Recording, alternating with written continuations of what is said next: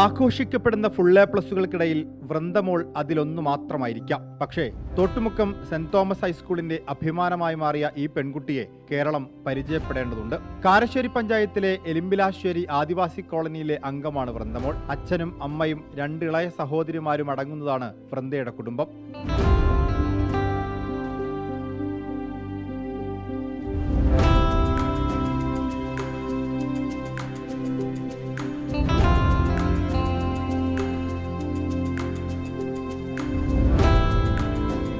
വരണ്യമായ ഒരു സൗകര്യങ്ങളും ജീവിതത്തിൽ ഈ പെൺകുട്ടി അനുഭവിച്ചിട്ടില്ല. പതിനഞ്ചു വയസ്സിന്റെ മോഹങ്ങളിൽ ഒന്നുപോലും സാധിച്ചു കിട്ടിയിട്ടുമില്ല. ഫ്ലക്ഷീറ്റുകൾ കൊണ്ട് ആകാശം മൂടി തകരം കൊണ്ട് ചുറ്റുമറ കെട്ടിയ ഒറ്റമുറി വീട്ടിൽ വൃന്ദ കാണുന്ന സ്വപ്നങ്ങളിൽ ഒന്നായിരുന്നു പത്താം ക്ലാസ്സിലെ ഫുൾ എ പ്ലസ് പരാതികളും പരിഭവങ്ങളും ഇല്ലാതെ പഠിച്ച് അവൾ ആ സ്വപ്നം നിറവേറ്റി.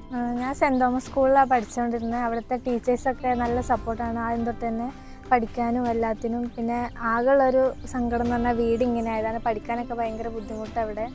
പിന്നെ ഇപ്പോൾ ഫുൾ എ പ്ലസ് കിട്ടുന്ന ചെറിയൊരു പ്രതീക്ഷ ഉണ്ടായിരുന്നുള്ളൂ. ഇപ്പോൾ കിട്ടിയപ്പോൾ ഭയങ്കര സന്തോഷമുണ്ട്. എനിക്ക് ഡോക്ടർ ആവണം എന്നാണ് ആഗ്രഹം. നടക്കും തന്നെയാണ് വിശ്വാസം. വൃന്ദയെക്കുറിച്ച് പറയുമ്പോൾ അച്ഛനും അമ്മയ്ക്കും അധ്യാപകർക്കും നാട്ടുകാർക്കും അഭിമാനം മാത്രം.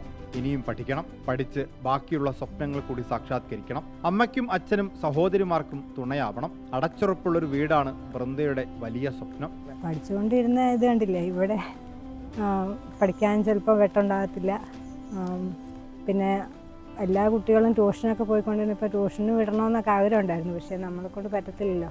ചെയ് കൊടുക്കാൻ അങ്ങനെ കഴിവ് കഴിയുന്ന അവൾ അവൾക്ക് പറ്റുന്ന പോലെ അവൾ പഠിച്ചു. അവൾക്ക് ആഗ്രഹം ഡോക്ടർ ആവണമെന്നാണ് ഞങ്ങളെ കൊണ്ട് പറ്റുമോ അറിയത്തില്ല എന്നാലും. ഇല്ലായ്മകളുടെ കഷ്ടപ്പാടുകൾ വൃന്ദയുടെ വിജയത്തിളക്കത്തിൽ തലകുനിക്കുകയാണ്. ആയിരം ഫുൾ എ പ്ലസുകൾക്കിടയിൽ ഈ ഫുൾ എ പ്ലസിന് ഒരു salute അർഹിക്കുന്നുണ്ട്. V S Ranjith reporter Kozhikode.